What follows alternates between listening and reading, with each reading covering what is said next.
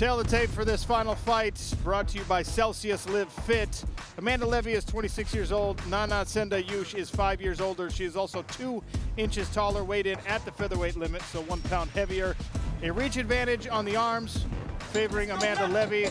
They have identical leg reach. Let's go. Andrew Glenn will serve as referee for this main event fight.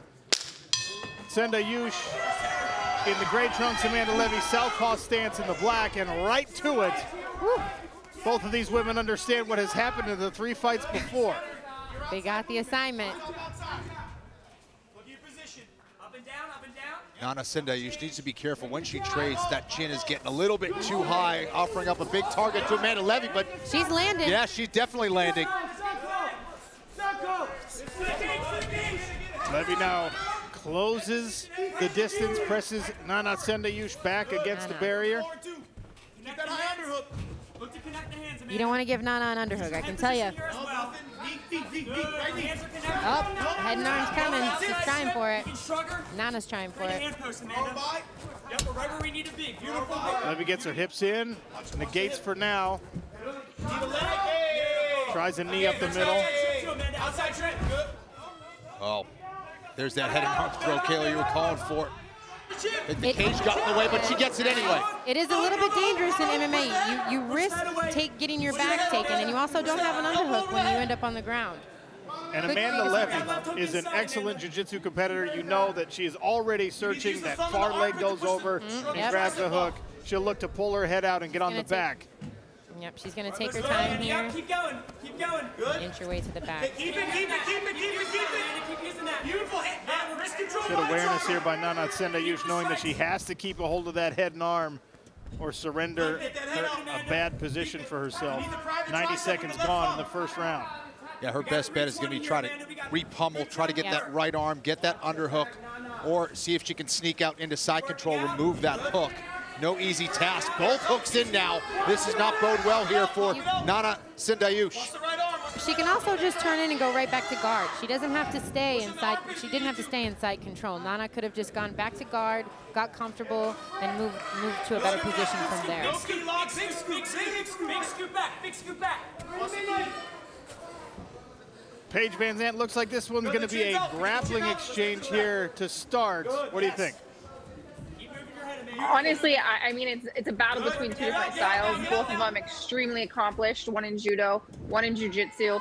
Uh, it's a battle of styles here, and I think we all could anticipate that this was going to go to the ground some way or another. Randy Couture, what do you want to see Amanda Leve do to get her head out of that head and arm? Yeah, she's really got a brace on the head of Tsend-Ayush and try and get her head out of there, and she's done that just now. I was impressed with Tsend-Ayush's hands. She came out hard, not afraid to get in the pocket and throw her hands. The headlock, as Kayla alluded to, it can be a risky technique in, in mixed martial arts. Tyron Woodley, I'm going to give you the opposite. How are you coaching Nana Tsend-Ayush to get off of this body lock and get Amanda Leve off her back? First thing first, she has to cover her neck. She has to reach inside, make sure that that does not go across to set up the choke. They both came out understanding that the fights before were action-packed. They came out with that same type of energy, but right now it's a situation where she has to make sure her neck does not get hit with the rear naked choke and try to press um, Amanda against the cage if possible to try to alleviate some of that pressure. Hand fight, body triangle top side, body triangle top Ian side. Parker, the second half of your parlay uh, is right now on the back and squeezing Nana Tsend-Ayush. What do you think? I think I like it. I think this is exactly where Amanda Leve wants to be. You know, the head and arm choke was a good throw, but once she got there, she just held it and she gave Leve all the time in the world to get position, take the back. I think it's just going to be a matter of time. If she doesn't get the finish here, I think Nana might have even burned her arms out trying to squeeze with no position behind it. I think Leve's going to win this pretty easily throughout the rest of the fight. Ian doesn't know judoka. Got one minute to work, Amanda. One minute Well, I was going to say, Him, he it- knows not. you know, even with the gi, even with a kimono on, it can be very difficult to finish that choke from the back against a high-level judoka. And right now, Nana Tsend-Ayush doing a good job keeping her elbows crossed, keeping that neck protected. And it looks like so far she's tough enough to not tap out to strikes from this position. Yeah, she want to try. To, she wants to try to, to to fall onto the side where Amanda has her legs crossed, get her back onto the mat, and start slowly inching her hip out. Um, but it seems like Amanda's doing a really good job of keeping control here. Not only does Amanda Leve have that figure four lock with her legs, but she's also got the, the far leg laced through with the instep. So just a real lockdown position, negating any sort of escape that Nana Tsend-Ayush can try to put together here. Good work by the Mongolian to keep her neck protected, but Amanda Leve doing a lot of work from the back, peppering with those strikes. We will, however, see a second round when we return on Fubo Sports. You ready? Ready? Sean O'Connell, Kenny Florian, and Kayla Harrison guest announcing. And right back to the action here. Amanda Leve steps in. And Nana just kind of bites down and, and, and sits on that that back leg and throws. You know, she's not a lot of head movement, not a lot of footwork, but she's gonna throw if you're coming in. She is tough, man. Got a chin for sure. And that right hand also is something to be respected as well. Yep, there it landed again. Landed it a couple times already here in the second round. Amanda Leve is the aggressor, but counter striking from Nana has been effective. Yeah, I think Amanda's better off taking her time, feinting, picking her shots, and, and let Oh, oh nice left nice hook. hook. Letting Nana come forward. You know, she she clearly won that. Oh, High kick there, and it walks her right into a right hand.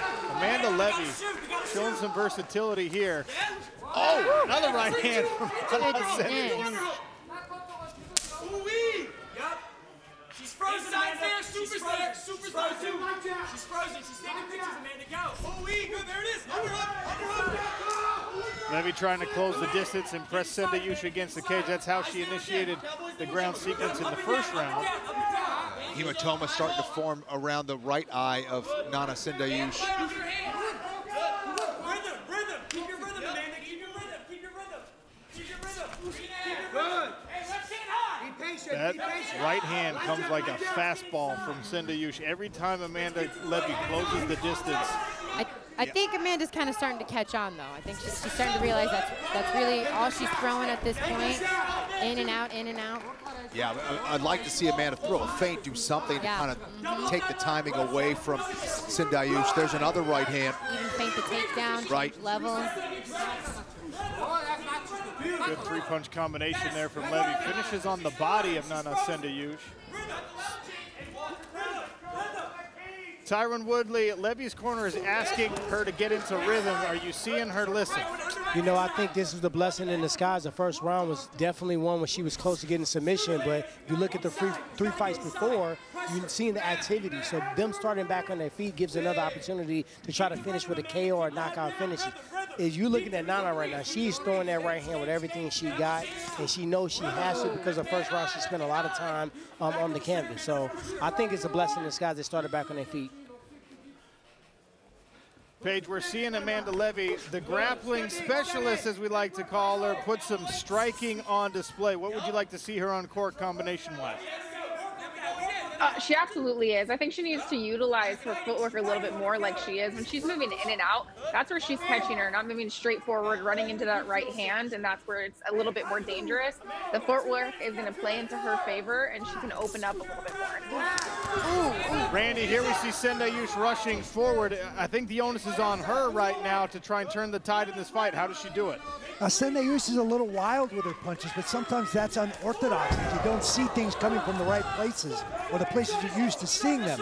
I would like to see Leve set up and transition, set her up and take her down. Her combinations she's showing, she's got good punching combinations, but use those punching combinations to change levels, follow through, and take Tsend-Ayush to the mat again. Big left hook and follows it up with a right hand. Ian Parker is a, Amanda Leve pulling away in this fight in the second round. You know what? The problem is she's giving Nana every opportunity with that right hand. I kind of like what Paige said, in and out. And if Amanda Leve's going to sit here and strike, and you want to take away the power of Nana, throw some calf kicks, get that inside leg kick, and then go for the takedown. Once she gets her down, that's her world. I think Amanda Leve's going to win, but she's giving Nana every opportunity to get a knockout. Those are big punches landing for Nana Tsend-Ayush, and now Amanda Leve grabs a hold to try and stop the onslaught. Good combo there from Leve. Another left hand. Them judo girls are tough.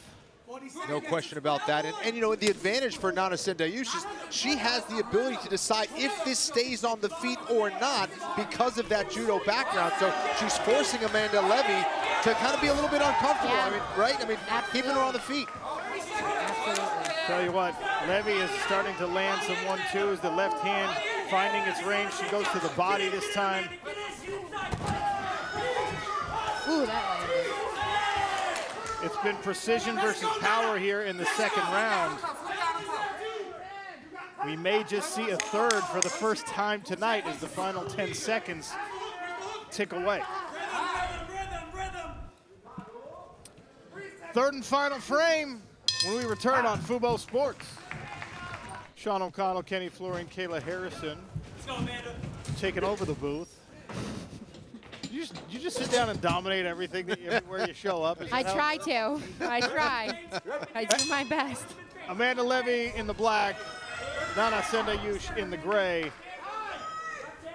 I'm impressed with Amanda's uh, conditioning. You know, she looks absolutely phenomenal. I know she's fought a little bit at 135. I know she's mixed it up in jiu-jitsu tournaments in all different weight classes, but this this may be her spot, 145. She looks great. Yeah, and, and again, this is you know only her second professional mixed martial arts fight. To have this level of composure and toughness is uh, very impressive.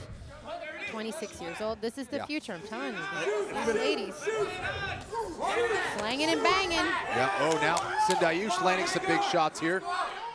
Tell you what, Amanda Oh, Leve. that chin came up on that one. Ooh, and there's a flurry again. This has been a great fight, back and forth, guys. Commit to it, set it up. Amanda Leve, left hand. Leve's corner calling for cowboy. I want to know what a cowboy is. Do it. I do love the composure of Amanda. Really, she's she's shown a lot of fight IQ. She's in, she's out. That first round started a little little crazy. Then she was able to get to the back, and really these last two rounds, she's dominated. I mean, uh, Tsend-Ayush has gotten a couple wild punches in here, but for the most part, this has been all Amanda. You can see the uh, Cagenomics stats there. Leve throwing nearly double, more than double. Landing more than triple. Oh. Tyron Woodley, we're seeing really good things from Amanda Leve. What does she need to do to get a finish? You know what? I, I got a second Kayla. She's showing a lot of composure. She's going high, she's going low. She knows standing in front of Nana is not a good idea. Look at that right hand. They got a lot of steam on there. Nana, as she's learning, she's growing in, the, in this cage, she's going to develop the skills that she needs to put that power in the right place. Her head's a little bit high. She's giving a big target. But I think Leve just is showing her conditioning. She's showing her well-roundedness. And she just got to keep prying forward. Kick body. Keep the rhythm. Randy, you're one part of our celebrity panel. You're one third of the vote at least. We've seen three finishes. Can a submission, or excuse me, a decision victory with the, the proper skill set sway you in the favor of someone like Amanda Leve? Wow, I'm very impressed with everything that Amanda Leve's done in this cage this evening. I'm not sure that going the distance is going to get it done for the PFL and the contract nod. She's very precise. This is strategic uh, precision in her tactics and technique. Again, I'd like to see that transition and see her put this fight on the ground, but she, I think she wants to show her skills in this realm, in this part of the fight. Oh.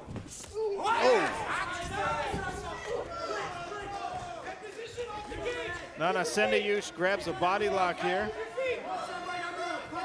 Kayla Harrison, put yourself in the, the seat of a judge since you're willing to do everything here. For the how, how are you scoring this fight so far? Yeah. Uh, no, I think that Amanda's pulled away. You know, I think um, has, has shown a lot of toughness. I think that she she has power. She has the ability to, to have a future in MMA, but um, Amanda's the more composed. She's the one landing more shots. She's in, she's out. She Her conditioning looks better. I mean, I think um, Amanda's pulled away on this, on this uh, fight. Just got to stay smart, stay sharp. You know, a minute and a half left now. It's, Kenny, you always use this phrase that I'm not super familiar with and I barely understand, but you say defensive discipline. And, and, Yes. and Leve has eaten a lot of strikes and big Yeah. time power strikes. Yeah, no, no question about it. Listen, obviously, I, I thought round one was a pretty clear for Amanda Leve Second round, guys, I, you know, there were some great exchanges for, for both, and when it's that close, you never know what the judge is going to see. However, I agree with Kayla that in round three, Amanda Leve is starting to take over, a little bit more precise. She's leading with that jab, but just throwing Tsend-Ayush off, off balance. Ian Parker, inside of one minute remains. Are you confident that your parlay is going to cash? Oh, you know, I would normally agree with Kayla, but she made fun of me. But regardless, Amanda Leve is showing some really great skills here. She's going to get the win. If she doesn't get the contract, I think she'll be in the PFL one day. Absolutely. Great future. Final 30 seconds here. Amanda Leve goes to the body again, and another big left hand from the southpaw. 20 seconds. Oh, big kick by Leve. Wow. Understanding the situation, time running out. She ate a right hand there, but Nana Tsend-Ayush Just shakes it off. Yes, She does. both of these women are just eating big power shots. Oh, my Final few goodness. seconds, swinging away, and there is the final bell. All right, and Sean is in the cage with the official decision. After three rounds of action, we go to the judges' scorecards, and all three judges score the bout 29 28. For your winner, by unanimous decision, Amanda Leve.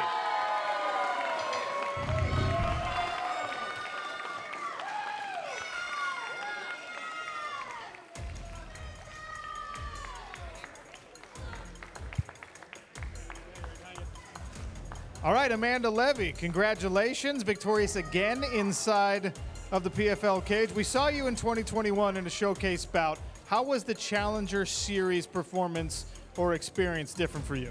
Um, it was pretty familiar to me. Um, they definitely do a great job here, and they make us feel like real, real professionals that we are. So I'm, I'm just happy to be here. Did you feel pressure coming into this fight knowing what had happened in the first three fights of the night? Three ladies with finishes. It's not just the competition in front of you with Nana Tsend-Ayush. It's also trying to win a contract over three people who got a finish. Um, no, I wasn't pressured, I would say. Um, I know I look great, I feel great, and I am great. So that's all that matters to me. All right, to our celebrity panel we go real quick. Randy Couture, look, it wasn't a finish, but we saw a little bit of everything from Amanda Leve here tonight. Amanda Leve did a great job tonight. In the face of some raw power and aggression, you stayed composed, you were precise, you knew exactly where you needed to be in every second of this fight. It was very impressive. Thank you. Tyron Woodley, what do you think of the strategy? Man, I love your cardio. I love your conditioning. I love the fact that your IQ is very high. You made those adjustments. You didn't just stand in front of that right hand, and you kept looking for the finish. And you talking, not even breathing hard right now. And Paige VanZant, you've got to be one third of this Extremely. celebrity panel vote. What do you think? Oh yeah, extremely impressive. I mean, looking at you now, you're not even breathing hard. You went for the finish every second of the fight. So um, I, I'm thoroughly impressed. Amanda Leve still undefeated